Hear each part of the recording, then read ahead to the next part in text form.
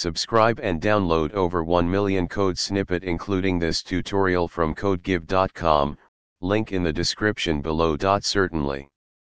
In Python, a while true loop creates an infinite loop that continues to execute as long as the condition is true. It's important to have a mechanism to end the loop, or it will run indefinitely. One common way to terminate a while true loop is to use a break statement. Let's create a simple tutorial with a code example. In Python, the while true loop is often used to create an infinite loop. However, it's crucial to have a way to exit the loop when a specific condition is met.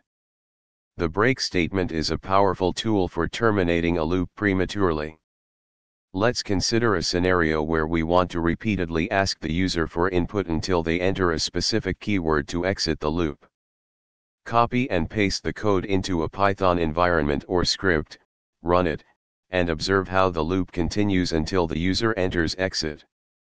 The break statement is a handy tool for ending a while true loop when a specific condition is met.